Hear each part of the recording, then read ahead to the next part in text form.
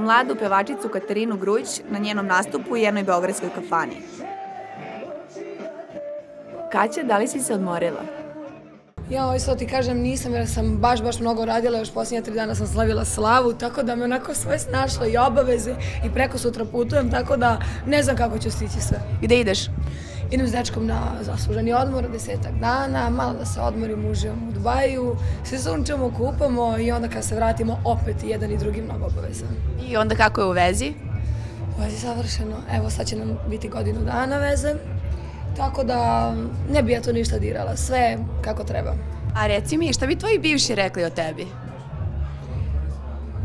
Pa šta god da kažu, mene to ne dotiče stvarno, jer verovatno kad je neko povređen da će svašta ružno reći, ali verujem mi da me ništa ne dotiče, mogu da pričam šta hoće.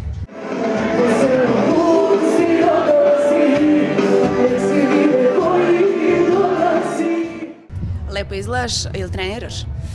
I sad ti kažem, ne, ne stižem toliko da treniram, ali eto da kažem, možda ne da držim neku dijetu, ali eto zdravo se hranim, koliko mi posao dozvoljava jer sam uvek stalno na putu, ali ne, ne treniram, samo ishrana zdrava. A šta bi preporučila devojkama, kako da izgledaju kao ti? Pa ja je rekla da se prvo zaljube, u stvari, ne treba to, ja kad sam zaljubila sam mnogo, mnogo jela, tako da to ne, šalim se naravno, ali eto da kažem neka zdrava ishrana, pozitivno mišljenje, da bude optimista i mislim da će sve doći kako treba. A reci mi, šta slušaš ovako privatno? Pa privatno iskreno volim da slušam uh, R&B muziku, neko house muziku, tu stranu nekako ne znam, opuštam i volim da se opustim u toj muzici i pronalazim se ja tu, iako je po moj posao potpuno drugačiji, ali eto kažem R&B.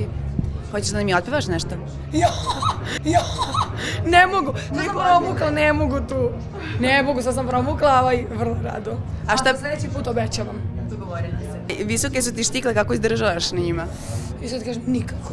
Nikako, jer ovaj, teško mi je, jer dva i po, tri sata koliko traje nastup, teško je sada na ovolikim štiklama stati, ali, bože moj, to je moj posao i moram da se snađem. Inače, ne volim da nosim nikada ravnu obuću, ali eto, za nastupe mi je tek pogotovo volim da obujem neke ogromne štikle.